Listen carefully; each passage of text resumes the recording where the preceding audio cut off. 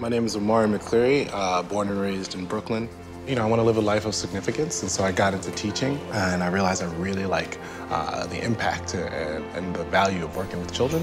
When I got the opportunity to start this program, and I had to really design experiences, soccer was number one on my list.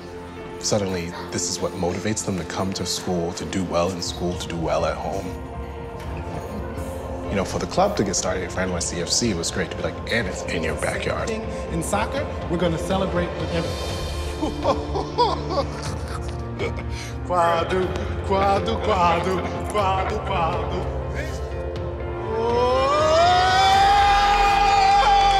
Our club. We wear the sign. We, we talk about New York City, the posters in the gym. And then for him to walk in, so surreal. It was like something out of a dream. I'm gonna sing extra hard this year. I'll tell you that much. Hopefully see you at the stadium. Yeah, yeah, yeah, absolutely. Yeah. You're gonna see me. All right.